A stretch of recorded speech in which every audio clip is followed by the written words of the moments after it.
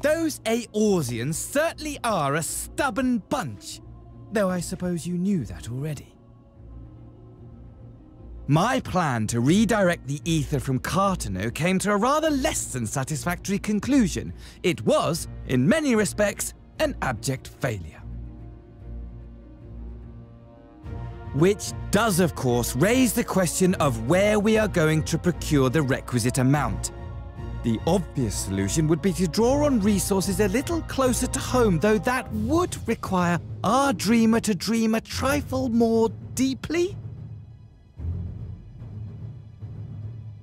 So be it.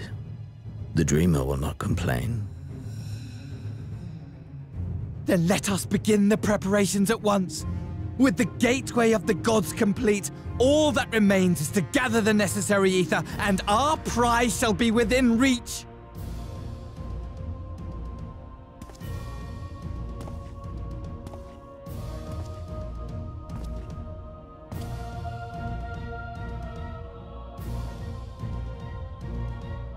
The time has come to fulfill your heart's desire, my desire!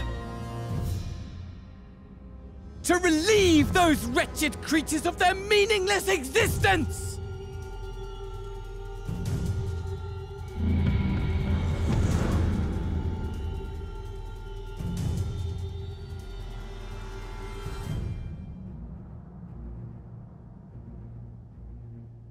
While I await you, I shall drink a sea of souls and gorge myself upon the darkened moon.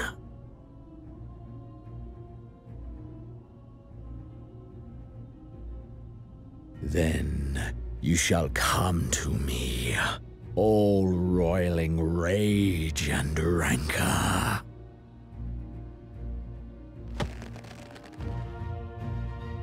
and the stars shall bear witness to our final contest.